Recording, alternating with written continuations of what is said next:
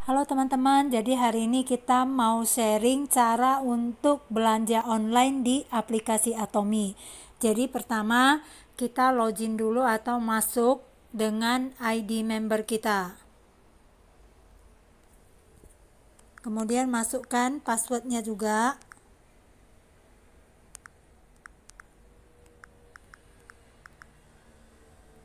Oke, masuk. Setelah itu kita masuk ke shopping mall. Nah ini teman-teman udah lihat ini tutup. Terus kita dia ada lihat produk-produk ini aja harganya berapa sudah ada. Misalnya kita mau belanja sinergi ampul ya kita masukkan ke keranjang ya. Kemudian misalnya di atas ini teman-teman bisa lihat di atas tuh ada hemohim kesehatan beauty hair and body. Jadi sudah di klasifikasi. Jadi misalnya teman-teman mau beli makanan bisa di food diklik food nanti yang keluar adalah yang makanan. Misalnya mau beli potato cup ramen bisa masukkan ke keranjang. Nah seperti itu. Lalu misalnya rumput laut juga mau ya. Tinggal misalnya mau dua bisa ditambahkan dua item. Dua item dua piece kemudian masuk ke keranjang Nah, setelah itu teman-teman bisa ke bagian bawah itu ada keranjang belanja, itu diklik. Nah, tadi teman-teman ada order ini sudah benar ya, dicek potato ramen sinergi ampul ya. Airpack ini tadi tidak ya, kita nggak ada pilih, jadi bisa jangan dicentang ya. Selain itu jangan dicentang. Nah, ini total sudah ada 2 juta lebih ya yang tadi tiga item barang kemudian kita klik item pesanan dipilih ya. Nah di sini nih udah muncul nomor handphone kan alamat kemudian saya setuju menerima konfirmasi email ya. Nah ini kalau kita mau kirimnya ke mana? Kita bisa kirim nama penerima sama dengan nama pemesan atau mau kirim ke alamat pengiriman baru artinya kita bisa order pakai ID kita kemudian kirim ke teman kita. Nah kalau seperti itu nanti kita bisa kasih alamatnya itu berbeda dengan alamat kita yang di atas ini. Ataupun misalnya teman-teman mau kirim ke pusat pelatihan di mana tidak dikenakan minimal order semuanya itu free ongkir juga bisa. Jadi seandainya teman-teman pilih ke pusat pelatihan di sini akan langsung muncul alamat pusat pelatihannya ya.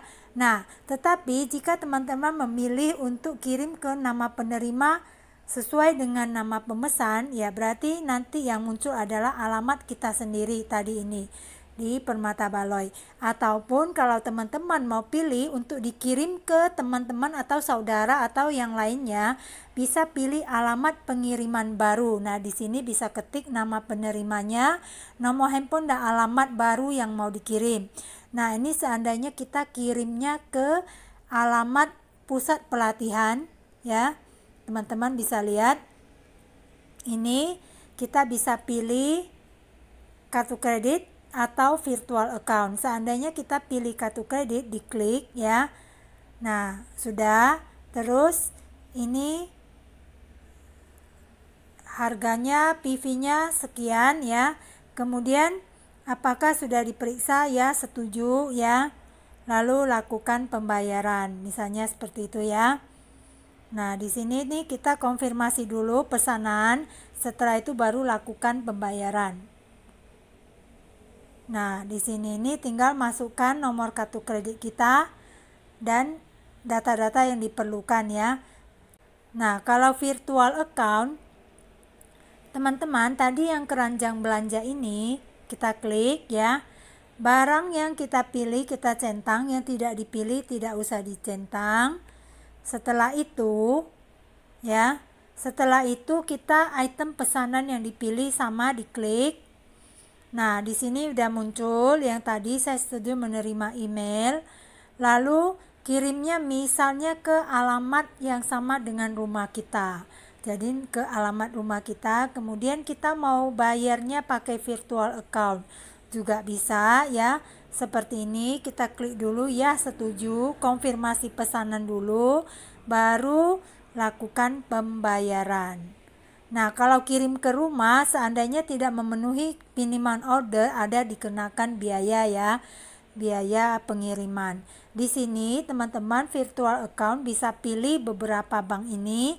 Seandainya mau pilih BCA, kita klik BCA kemudian proses. Nah, ini sudah muncul, kita cek lagi nomor virtual BCA accountnya sudah muncul ya. Nanti tinggal pakai nomor virtual itu untuk membayar ya di BCA.